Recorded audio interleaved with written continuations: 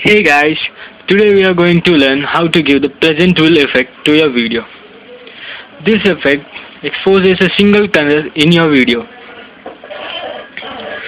Let us see how to make it. First import your files. Hmm.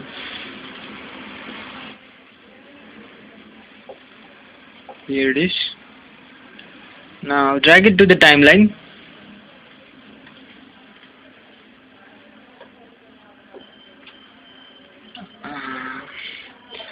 so now as we have adjusted our video to the timeline now we can give our effect to it.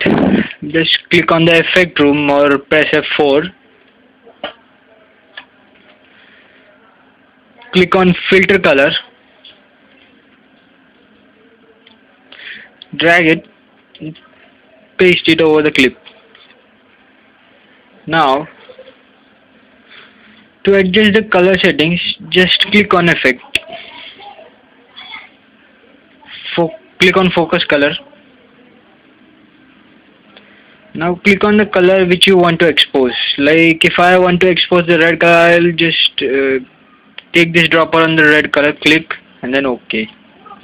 And as you can see the red color is exposed.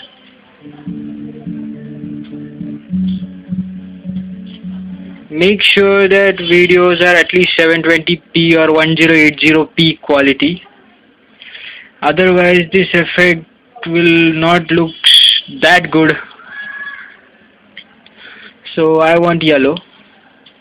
So okay. And here it is.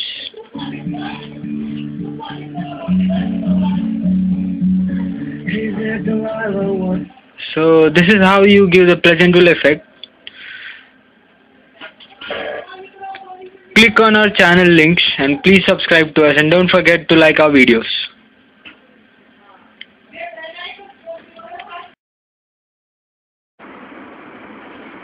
Please subscribe to our channel.